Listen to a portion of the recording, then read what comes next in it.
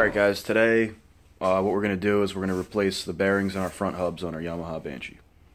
So first thing we're going to do, we're going to disassemble these, take the disc off, um, and then we'll pop our bearings out. We'll put it in the uh, device. We'll pop our seals and bearings out. You don't actually have to take the disc off, but I'm going to be painting my hubs, so I'm going to take them apart.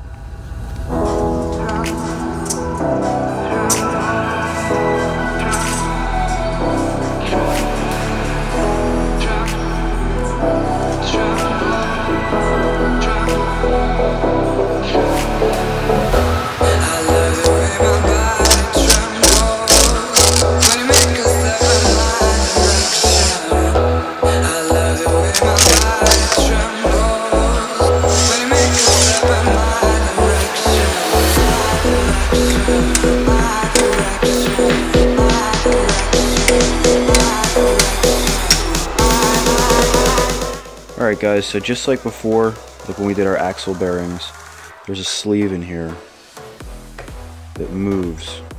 You can see it left and right. So you want to push it to one side, and then we're going to go in here with our punch and hit on that inner race. And we'll tap it left and right until it comes out nice and even. Um, and we're going to do this front side first because this bearing's smaller so we have more room to work with back here. If we did it the other way, we'd have to find a really thin tool to push the back out. Once that front bearing's out, we'll be able to fit a bigger tool through the front.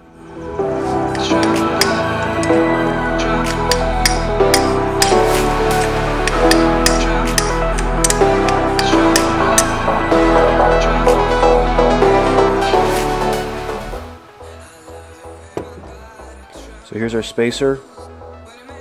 You see it's tapered for the smaller bearing in the front and the bigger bearing for the back. Here's our old bearing. Junk.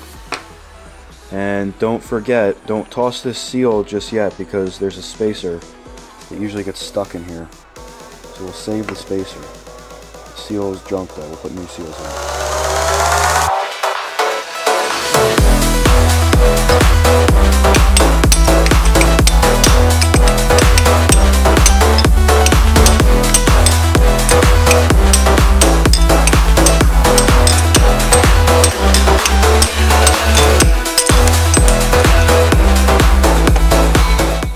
Guys, so we have our hubs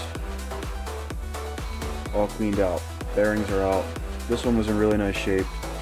I'm still working on the other one uh, because that bearing seized, but in the meantime I'm going to start cleaning this up.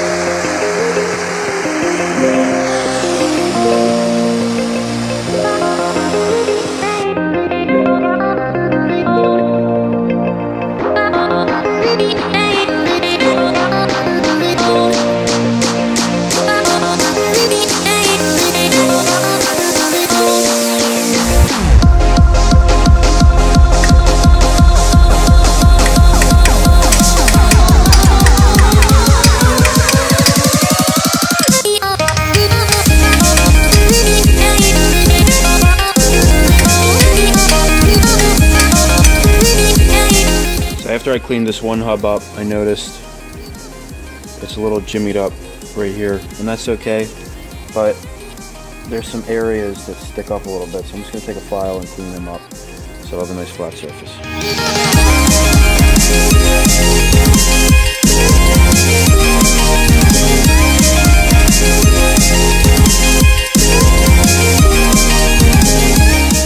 guys, my hubs are done. They came out really nice. So let's put our new bearings in. Just pulled these bad boys out of the freezer. And what we're gonna do, uh, we're gonna press them in the vise. If you don't have a vise, you can smash them in with a hammer. But this is a much easier and better way, in my opinion. Um, so the front here, we're gonna use this socket, which I believe is a one inch, yes. It's a one inch socket that'll that fits in there nicely. We'll be able to press on that inner race. And on the back side, I have a 32 millimeter. This fits in there perfectly. And what I'm gonna do is on that inner race in there, I'm gonna put the first, I'm gonna put the front one in first, and then I'm just gonna leave this socket in the back when I put it in the vise, so that that way we don't have to press up against the the outside of this hub. I don't want to damage anything or mess up the paint. So let's get them in there, and don't forget to put your center spacer in. If you forget to put the center space, spacers in, you got to take them out and do it all over again. So we'll put the front bearing in, then we'll put our spacer in, then we'll put the back, back bearing in. Don't want to make it too tight. You want to make sure that this can still spin. Otherwise, the uh, bearing's not going to work the way it should.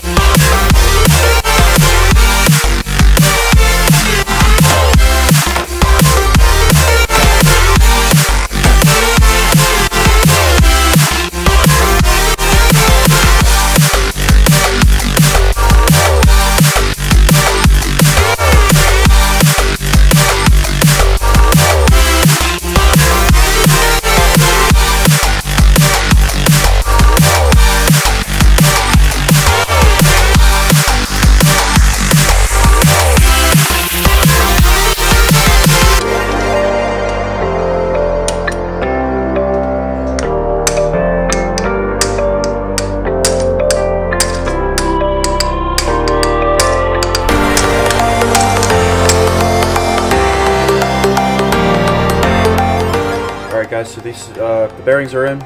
Got them on both sides. Um, you want to check, make sure that they do spin freely. I had them a little too snug at first, so I backed the one bearing out, and now they're good. It's okay if they are a little snug, because um, they will break in a little bit. Um, so we'll pop, we'll grease our seals up, pop the seals in real quick, um, and then we'll do the other side. All we have to do then is put our disc brake on, and these will be ready to rock and roll. So thanks for watching, guys. Stay tuned. I got a couple more videos working. Um, if you like the videos, please subscribe. Don't forget to like. And uh, thanks again for watching.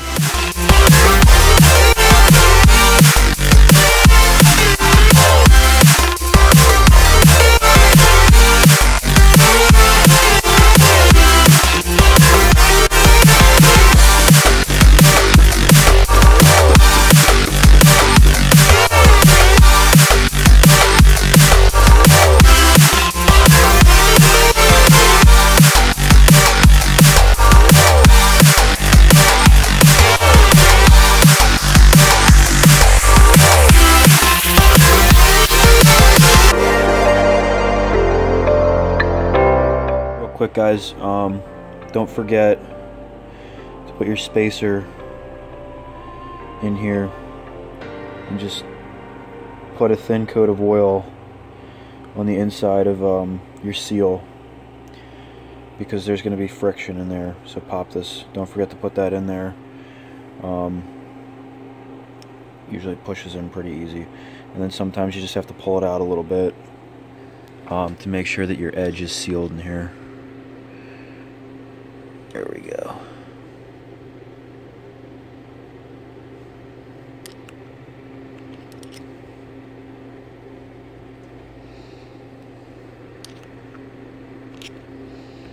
So there it is. And um, before you put your hub on, grease the inside of this one too, because the uh, the um, the spacer is actually a part of the spindle.